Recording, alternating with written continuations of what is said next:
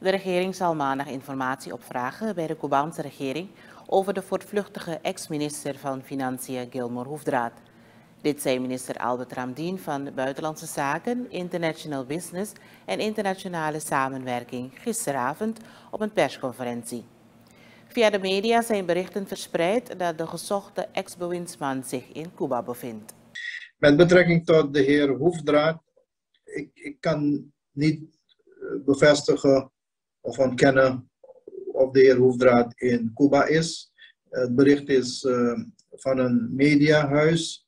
Um, uiteraard hoop ik dat eh, wanneer het mediahuis meer informatie heeft over deze zaak, dat ook zal doorspelen aan de autoriteiten. Want het gaat om een officiële, uh, ja, een officieel verzoek uh, of een officiële actie om opsporing.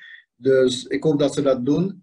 Uh, op uw vraag met betrekking tot um, of wij actie hebben ondernomen richting Cuba um, in termen van informatie, uh, dat heb ik nog niet gedaan. U mag ervan uitgaan, vanwege het feit dat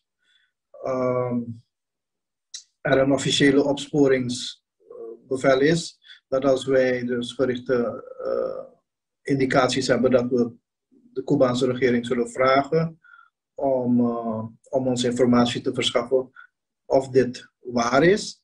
En indien dat waar is, uh, dan wel verzoeken aan Cuba om hem richting Suriname te sturen.